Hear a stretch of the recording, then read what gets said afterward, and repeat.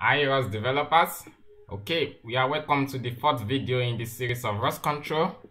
So if you don't have your Gazebo launch already, launch it and make sure you have your manipulator as we have it here. Okay, so what we want to do now is we want to control each of these joints with RQT instead of from commands from our terminal. Okay, so we need to launch RQT first. So I just do rosrun RQT GUI, RQT GUI. So it launches RQT and I want to place it side by side with my gazebo. So it takes some few seconds to launch.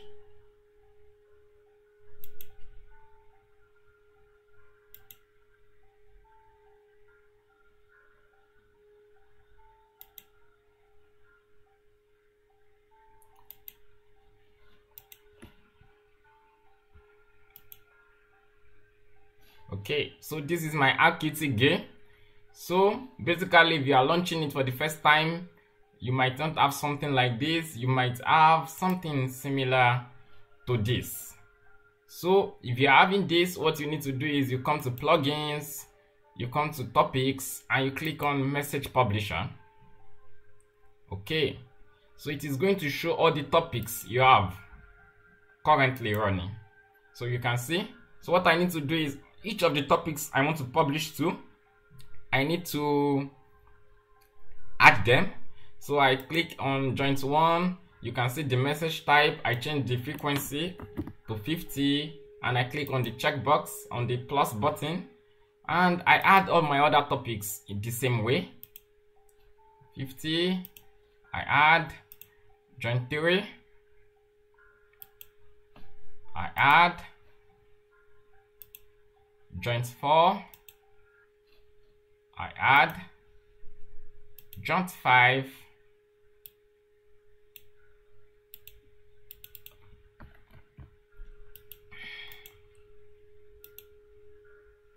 okay joint 5 I add.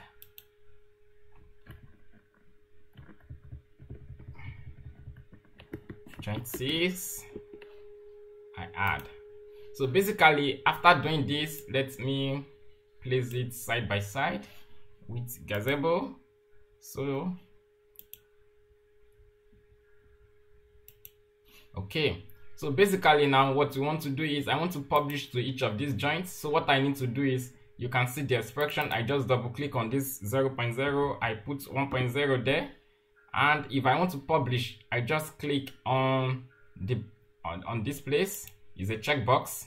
We can see how it moves. So now I can return it back. So I can also come to the I can actually publish to different joints at the same time. That is what I want to do now. So I just come here and I add 1.0 1.0 1.0 minus 1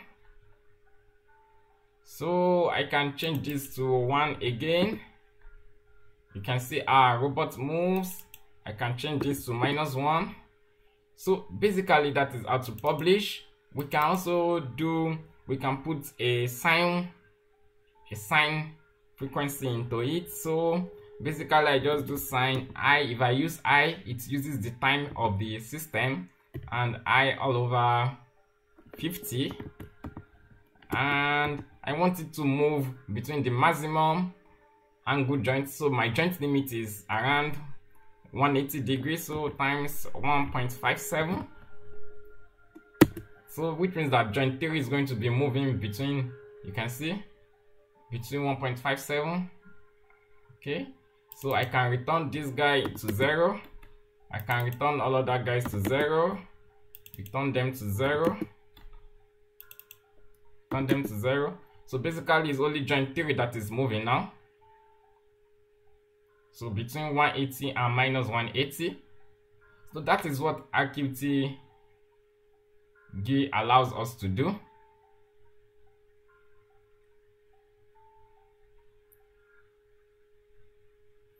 So you can also adjust and change some other things in it.